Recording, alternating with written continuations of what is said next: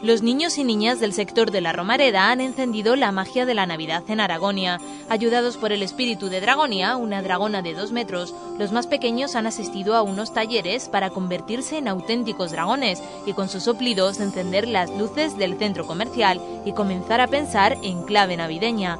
Comienza así una época de ilusión y sueños de regalos que tendrá un tinte draconiano en las instalaciones de Aragonia, las primeras de la ciudad en encender la Navidad.